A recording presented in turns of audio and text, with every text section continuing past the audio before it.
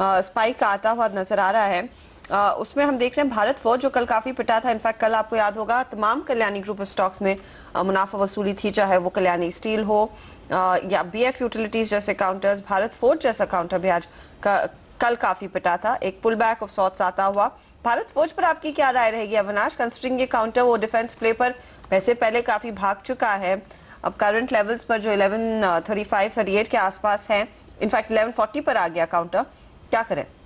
नहीं I think Harshada लंबी अवधि के लिए अभी भी uh, भारत फौज डेफिनेटली अट्रैक्टिव लग रहा है. आई थिंक रिस्क रिवॉर्ड काफ़ी बेहतर है अगर हम एफ़ आई सिक्सटीन और एफ़ आई सेवनटीन के अर्निंग्स की ग्रोथ की बात करें और क्लियरली uh, जिस प्रकार का डोमेस्टिक सीवी मार्केट में ग्रोथ दिख रहा है क्लियरली uh, भारत फौज एक बड़ा कंपोनेंट प्लेयर है सारे कमर्शियल व्हीकल प्लेयर्स के लिए. इनफैक्ट uh, कल uh, जो फॉल करने का रीज़न था वो ये था कि ग्लोबल मार्केट में uh, जो क्लास एट ट्रक्स जो होती है यहाँ पर लगातार तीसरे महीने तक uh, इनके ग्रो, सेल्स ग्रोथ में इनको नेगेटिव ग्रोथ दिख रहा था। तो शायद इसी कारण थोड़ी सी बिकवाली हमने शेयर में देखी लेकिन क्लियरली अगर ऐसा कंटिन्यूसली होता है तो डेफिनेटली भारत फौज को काफ़ी नुकसान का उठाना पड़ेगा क्योंकि ग्लोबली करीबन 25 basis 25 percent market share Bharat Forge control करता है करीबन यूएस के मार्केट्स में। तो आई थिंक आगे का रास्ता तभी इंप्रूव होगा जब ग्लोबली इस सेगमेंट में थोड़ी सी पॉजिटिव ग्रोथ देखने को मिले। डोमेस्टिक मार्केट्स में डेफिनेटली हेडविंड्स पॉजिटिव है। तो I think at the current levels कोई भी अगर निवेशक खरीदना चाहते हैं तो लंबा टाइम होराइजन रखे कम से कम साल डेढ़ साल का तभी इसमें अच्छा पैसा बन सकता है।